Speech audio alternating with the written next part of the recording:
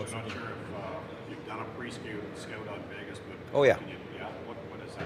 It's, uh, it's very simple. They're a meat and potatoes team that is absolutely relentless. That's it. That's how they get their success. Uh, and I, I'll say that about very few teams in the league. This is probably the, the, the hardest working team in the league, period.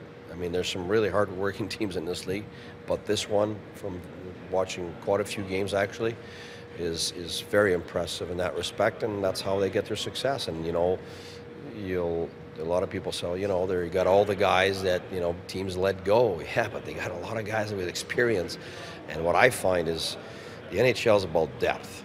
You got high end talent.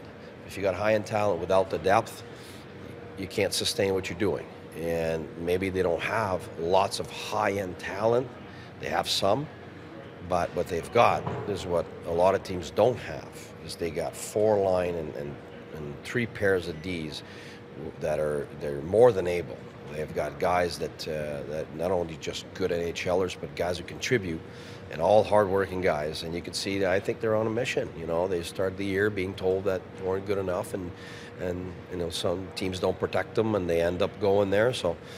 I'd be like them too, to be honest with you, and that's what they look like. They're on the ice and they're hungry and they want to prove something, and it shows. So they're extremely, extremely hard team to beat, as a lot of teams have noticed, and that's what we're expecting. So we're, we're, we're getting ready for uh, a major, major battle. Um, it's going to be a, a relentless against relentless because I think that's what our team is, and so it's going to be a great game to watch.